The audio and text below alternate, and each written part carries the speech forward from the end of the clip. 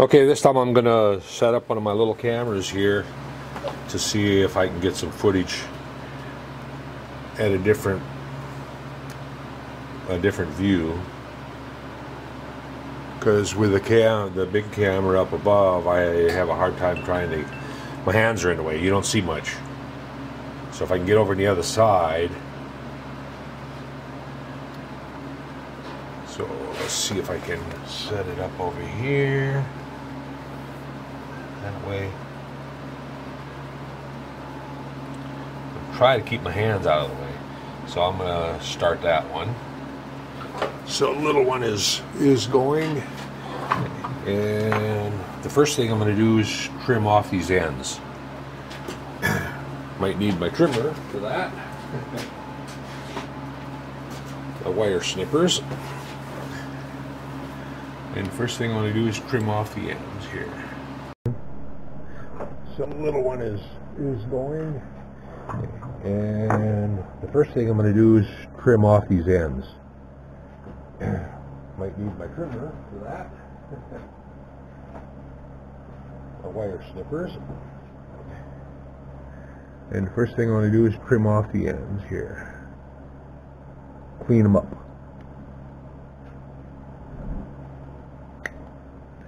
Cut that end off. Actually, I'm going to leave that end on right for now. Now I'm going to take a razor blade and I'm going to try to pick out like a loop and a half to two loops. And it's kind of hard to do when you can't see very well. I should be wearing that uh, Magna Viewer or whatever it's called. I bought one and then I don't wear it. Alright, so I got both blades in the same, and I just fold it down, and then fold this one back a little bit, and there we got our first, we got our first loop here. Got the first loop. Let's see, I don't think I zoomed you in over here.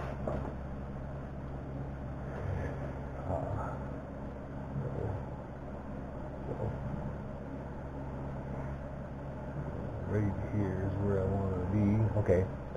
Um, so I got the first loop. Now I'm going to measure over approximately about 700 thousandths from the center line of that. Actually, the spring is going to be about just about the right length if I trim the end off and fold the and fold the end down. So I thought it, was, it looked extra long when I was winding it, but apparently not. So I'm going to trim off, I'm going to try to trim off this uh, tab or whatever you want to call it on the end here. I want to get it as short as I can. Like that. Now we'll do the same thing. I got the loop laying down flat down on the other side. So I'm going to lay a scale on that kind of keep it. And then I'm going to try to pick out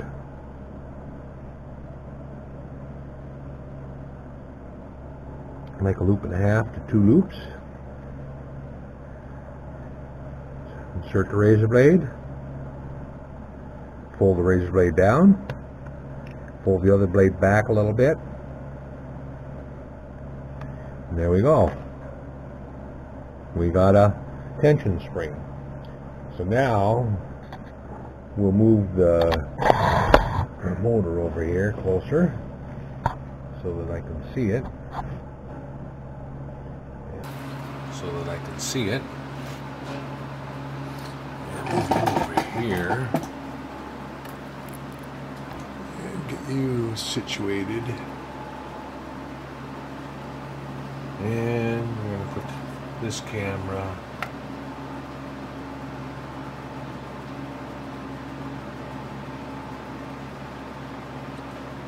Hmm. Not a very good view of it.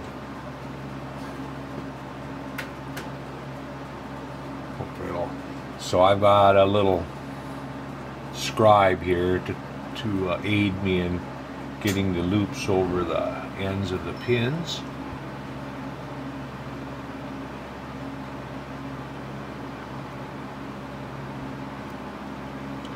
If you hold your tongue just right, you get it. My wife always tells me, is that sticking your tongue out make it work better? And I go, sometimes. All right, I got that one. That one was pretty easy. The first one always is a little easy. On on the other two, I had the same thing. Now the second one is a little more, a little more tricky. Getting that up on top of the pin.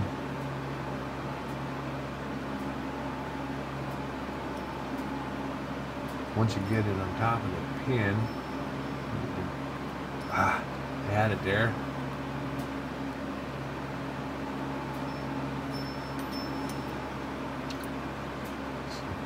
not the easiest thing to uh, to do. My fingers are too big, and I'm sure this camera over here is getting nothing but the back of my hand right now. Okay, I've got it laying on top.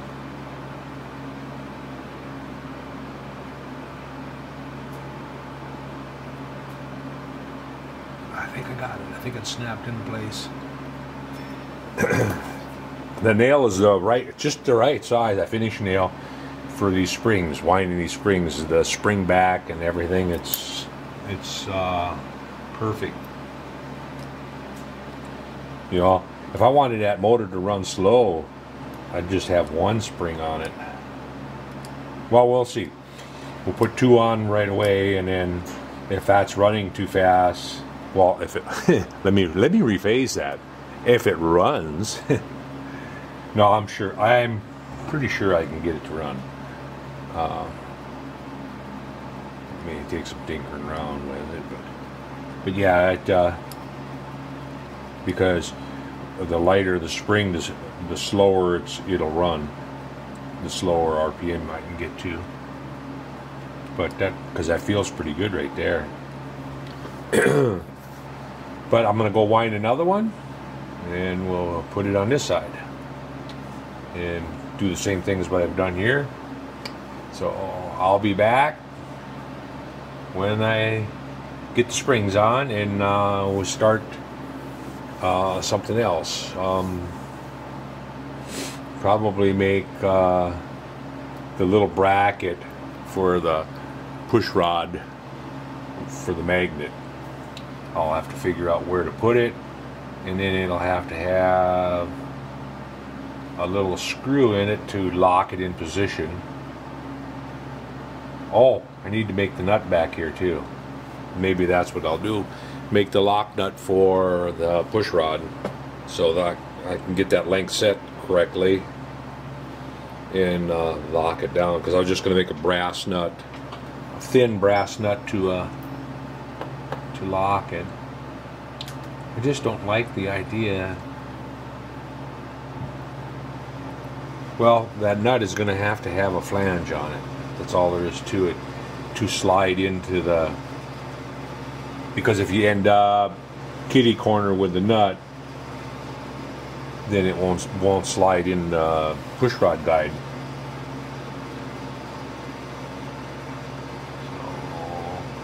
So, unless I mill part of that pushrod guide away, which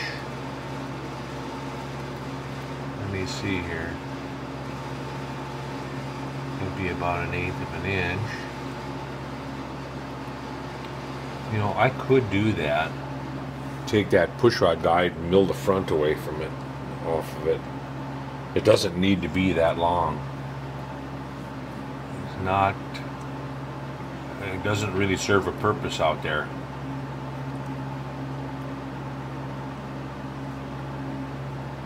Not at all.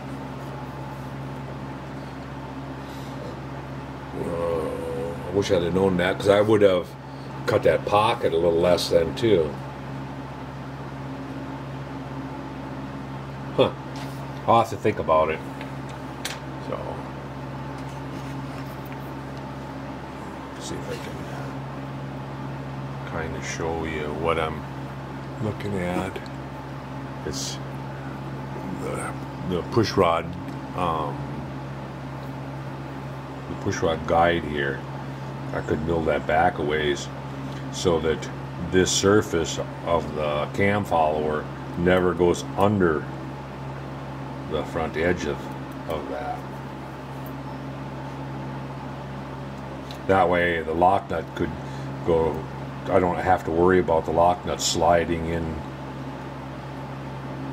unless, you know, because if I have that lock nut corner to corner, you know, at an angle, it's not going to slide through there. Well, the only way I'd be able to adjust that would be to put shim washers underneath until I got it correct. It'd be it'd be uh, better to cut that off. It basically right about where I got that radius on there, so I can cut it right back to that radius. It's and like I say, it's not going to hurt anything. It doesn't need to have that much that much slide area if it had even this raised up area here, if it just had that, well, no, it might tend to tip then, but I'll I'll uh, work on that. I'll make the nuts first, and then we'll see what we got. All right. So, so I'll be back.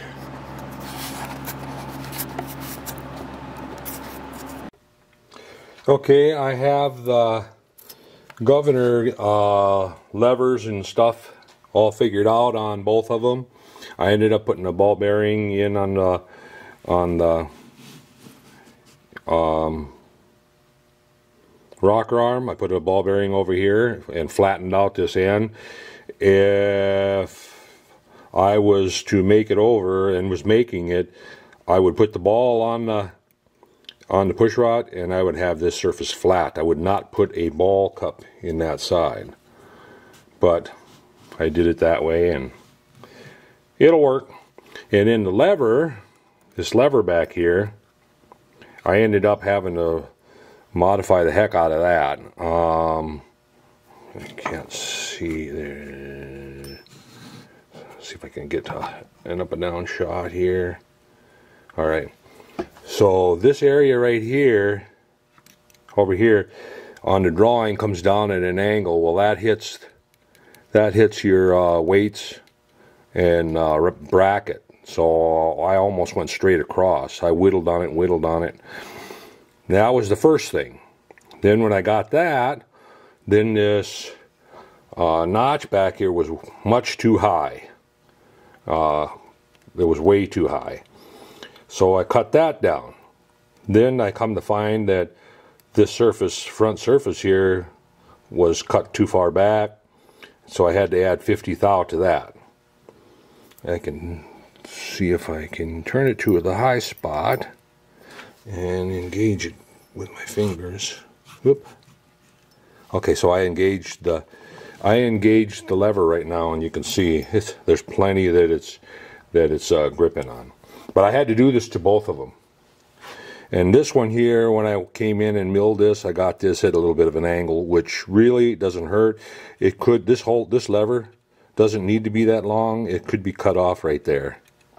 So on my set of drawings on and my PDFs and my model, I'm going to take and cut this off and I'm going to try to get some of these dimensions and put on my drawing so that if I ever come to make and want to make another one I don't have to fiddle around. I've got I'll have the dimensions correct for it. Plus uh, the spool back here I made it just a tad loose on that and that was enough to where I didn't have enough to um, see now it's back out to um, engage and disengage. So all of this is kind of done now. So what I'm going to do next is I'm going to go ahead and uh, take this, take the bearing caps off, lift that out of there, and take this bushing out on this side. And I'm going to make that bushing so it sticks out a quarter to 3 sixteenths of an inch out because that's where my adjustable um, timing will be. And um, I'm going to do that on both of them and then uh, while I have that off and um, well no that's never mind that. I was thinking that I had to uh, you know they're talking about putting uh, putting it uh, on the right tooth and not if you're not getting it right resoldering the valve uh, timing and and everything. That's because the the ignition timing is incorporated in that in that cam. And now that I don't have that incorporated in that cam I can take this gear and loosen it up and adjust it to wherever I need to adjust it. The uh, ignition timing will be over here on its own basically on its own circuit or system. So so that did away with uh, doing this will do away with uh, uh, trying to get it on the right tooth and all that baloney I say baloney, but it worked for him, so I can't say it's baloney. You know, it. I mean, it, I've always said if it works, that's all it counts. So, anyway, if it works and looks good, try to make things look good. Um, but anyway, I'll make the bushings for these two, for, for this one and, th and this. I'm not going to remake this bushing, just just the one over here. And then uh, I didn't line bore though. Oh no, I wouldn't have. I would have never line bored the bushing. Uh, I would have line bored where the bushing fits in because um, that's a bad habit. If you get in the habit of of having a bushing, two bushings in something, and you have them clamped down and then line bore the bushings, you're asking for trouble because if the bushing turns, then you're out of alignment. You want to, you you want to line bore where the bushings are going to sit, not line bore the bushings. It's just a little tidbit. I worked with a, a fella and he just couldn't comprehend uh, what was wrong with clamping it down and then line boring the, the bushing and on stuff and I gave up on him as, as so did uh, some of my coworkers anyway that's enough of that I'm gonna go ahead and uh, take that off let's see Allen wrench here I'm bumping the tripod, ain't I? I do have these labeled, don't I? Yep, one.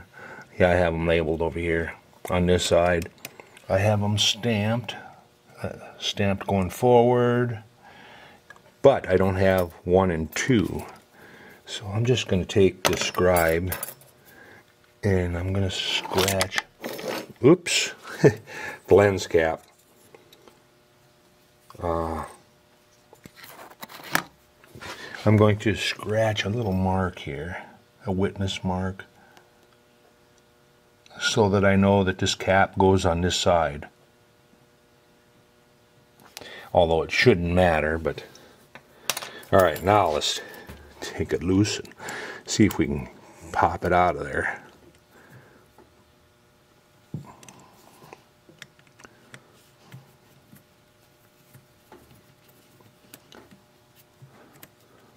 All you can see is my thumbs and fingers. I'm looking right straight down at it almost, so. With the camera, that is. And these uh, bushings have a flange on the inside to keep the, the um, crank in the right spot. So, yeah.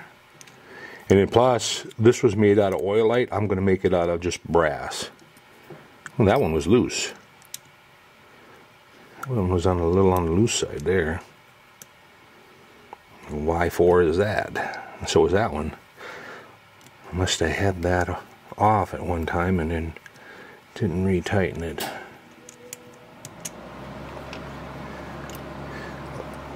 they'll just do this one first and see if it's gonna if it's looking feasible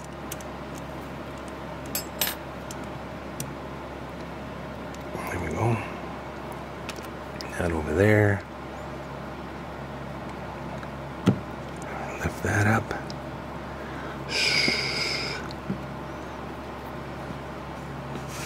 I might have to nope, nope I can get it all right, I'm just to leave that set like that, and I'm to go duplicate this bushing in brass instead of oilite.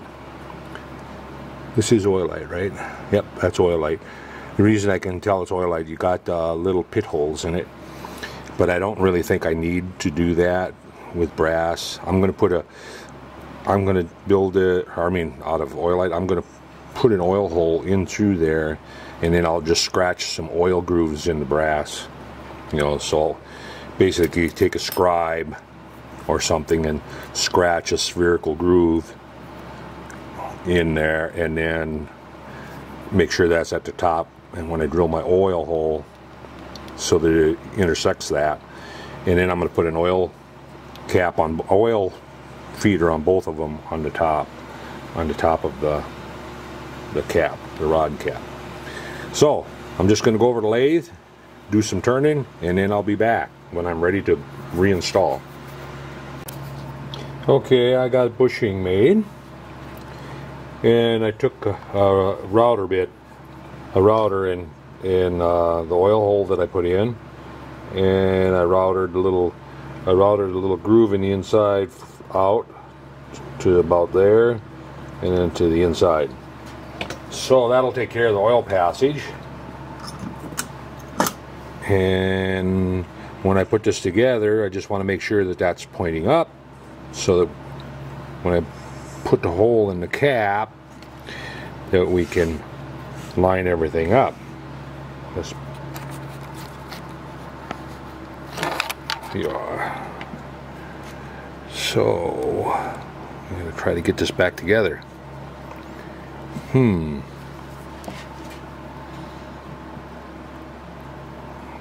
This has got to go over. Let's pull this back so that it can get over.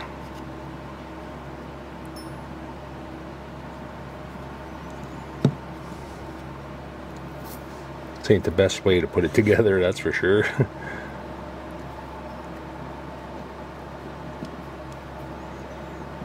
hmm.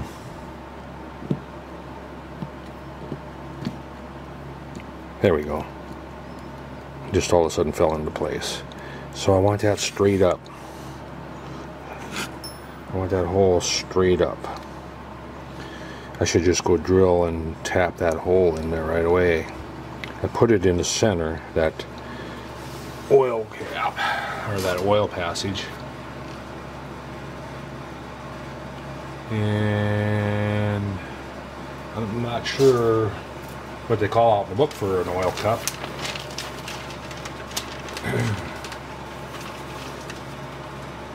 They're calling out. I know I seen them that they were listed in here.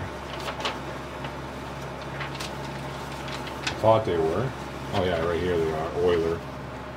They're calling out uh, 1032.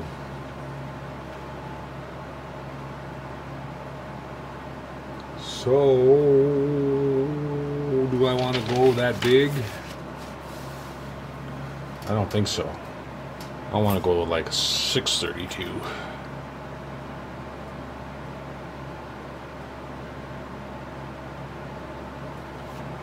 mm-hmm. think that's what I'll do. I'm going to drill a hole in here, 632. Right there. Well, I'm just going to put it together for now. I can um, later decide what kind of oil cup I'm going to put in and then take this off and go ahead and do it. Or I could even just leave it on here and do it while it's assembled. As long as I have the this hole in the right position. Up. I want it almost straight up and down and it's right about there because when I clamp it it's going to pinch it anyway. Let's see, get a screw in there.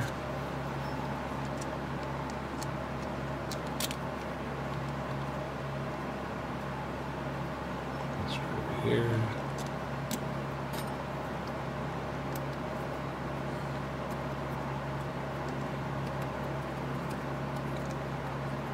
Turn them up so they're just snug holding it.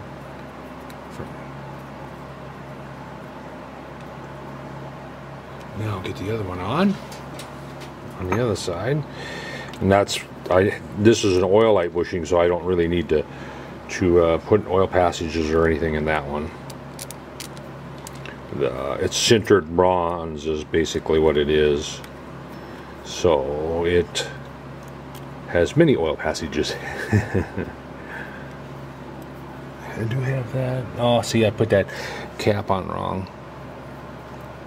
Not paying attention here. That's I don't I have it backwards. So let's take it back off. Put that in the right way because that might might not line up with that bottom diameter. What? It should be all damn close. But but I put those marks on there for a reason. So it goes this way. I got forward marks on there.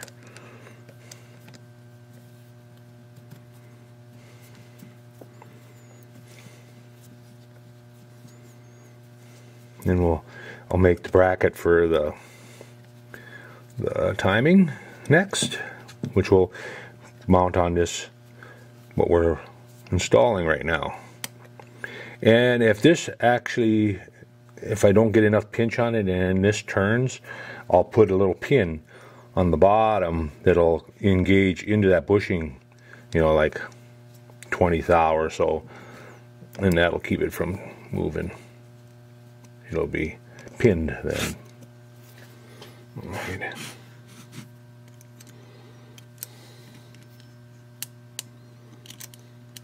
Come on. But I'm thinking there, oop, there'll be enough pinched it.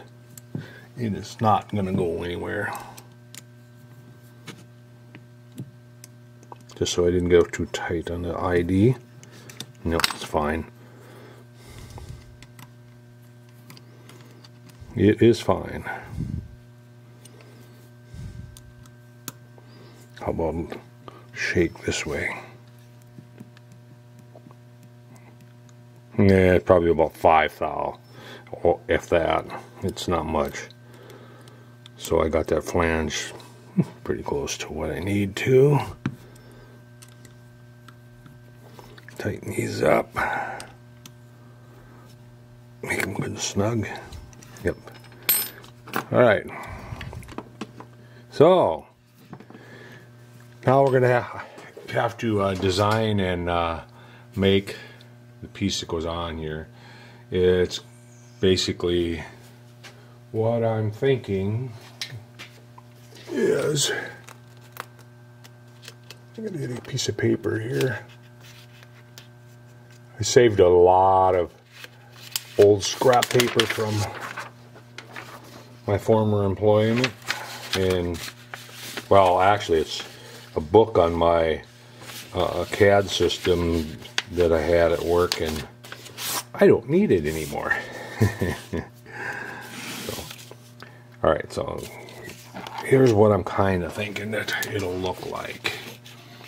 Looking, looking in the end of the crank, it'll look like this, and the handle will come up here.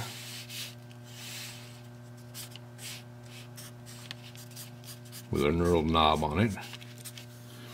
And then it'll come like that. And then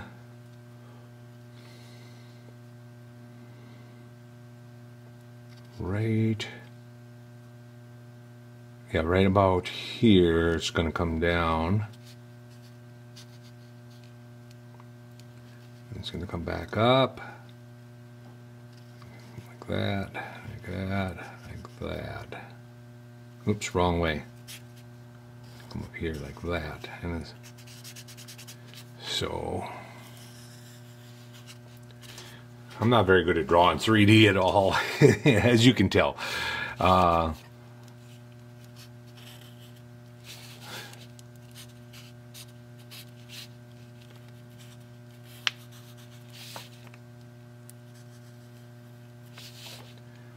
trying to fix it.